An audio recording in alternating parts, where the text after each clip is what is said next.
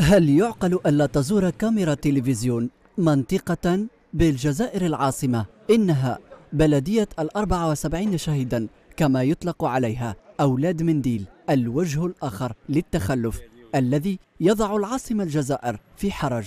فهل ثبت أنها تتذيل المراتب الأخيرة في آخر الدراسات العالمية؟ فكما ترون معي بهذه البلدية التابعة للدويرة بالعاصمة طرقات مهترئة. لا ماء ولا غاز وحتى الكهرباء ضعيفة. شباب مكانهم الوحيد المقاهي في ظل غياب كامل المرافق العمومية. ورانا محرومين من كلش. شوف ما عندنا ماء. ما كان سينيسمون ما كان غاز وما كان طريق. حاجة ماشي مخدومة في لينون. شفنا رئيس البلدية عدة مرات وعود كاذبة. ولي ديليغي كذلك الحال رحنا لها بغا استقبلنا ما لقينا ما نديرو. هذا الدوار نلخصوا في كلمة واحدة. رانا منكوبين بمعنى الكلمة. رانا منكوبين. نكمل واش قال صاحبي. ما كان طريق. لا بروف راهم يعقبوا نسيدوا نساء اولادهم للفاكسا يطيحوا لنا لهنايا. بمجرد الدخول للمكان ستكتنفك عزلة. هذه المشاهد وكأنك بمنطقة لا تنتمي للعاصمة بتاتا.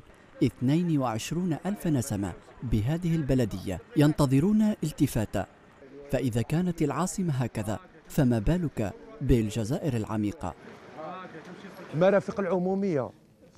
الشباب ما كاش ما كاش آه، ستاد ستاد عندنا ستاد عنده رئيس آه، رئيس الجمعية تاعنا تاع تاع سبور.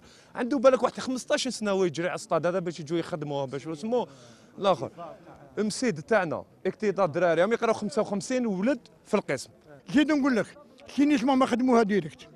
ال gaz de ville كيف كيف؟ مخصوص. دار دارولا ودار ما دارولاش آه l'éclairage ما كاش l'école l'école ما كاش école 50 تراس يجي. النساء الدراري مساكن يجيبوهم والديهم بالطونوبات يلحقوهم في الباب. السيام ما كاش.